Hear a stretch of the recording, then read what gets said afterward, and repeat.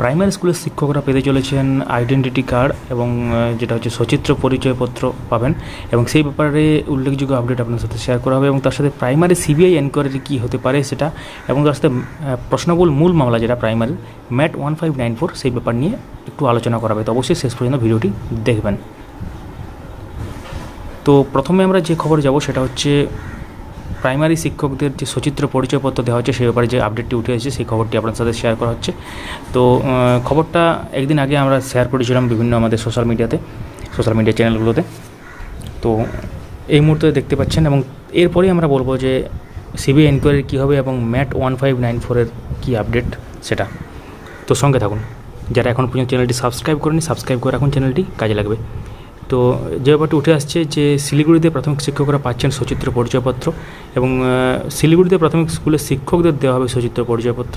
প্রাথমিক বিদ্যালয় সংসদের বত্রিশতম প্রতিষ্ঠা দিবস উপলক্ষে বৃহস্পতিবার হাকিমপাড়া জিএসএফপি স্কুলে একটি অনুষ্ঠান হয়। সেই অনুষ্ঠানেই একথা জানান সংসদের প্রতিনিধিরা, সংসদের এই উদ্যোগে খুশি প্রাথমিক শিক্ষকরা, সংসদ সূত্রে খবর, মহকুমার বিভিন্ন সার্কেলের অন্তর্গত এক হাজার সাতশো দশজন শিক্ষক শিক্ষিকার সচিত্র পরিচয়পত্র তৈরি করা হয়েছে, তা এদিন সার্কেলের প্রতিনিধিদের হাতে প্রদান করা হয়েছে।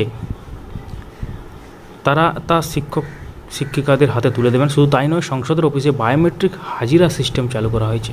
অর্থাৎ সংসদের অফিসে কিন্তু বায়োমেট্রিক হাজিরা চালু করা হয়েছে। যেটা হচ্ছে ফিঙ্গারপ্রিন্ট কিংবা যে ব্যাপারটা উঠে আসছে, সেই রেকগনিশন হবে এবং তারপর সেটা ভেরিফাই করে হাজিরাটা হবে আর অ্যাটেন্ডেন্সটা হবে আর কি। তো এই ছিল খবর এবং এরপর আমরা যে খবর যাব সেটা হচ্ছে সিবিআই এনকোয়ারি কী হবে? আপনারা জানেন যে বিভিন্ন এসআই অফিসে ডকুমেন্ট কালেকশন হয়ে গেছে অলরেডি সেটা এসআই অফিসে অনেক সময় ডকুমেন্টগুলো কিছু রাখা হয়, এক কপি রাখা হয় এবং আরেক কপি পাঠানো হয় ডিপিএসসিতে এবং আরেক কপি উপরে ভেরিফিকেশনের জন্য যেতে পারে। তো সেই সংক্রান্ত আপডেট আমরা দিয়েছিলাম আগেও। তো আপনাদের চিন্তার কিছু কারণ নেই। লিগেলভাবে যারা পেয়েছেন তাদের চিন্তার কিছু কারণ নেই। যারা অস্বচ্ছভাবে পেয়েছেন বা ইলিগেলভাবে পেয়েছেন তাদের ক্ষেত্রে চিন্তার কারণ হয়ে দাঁড়াতে পারে।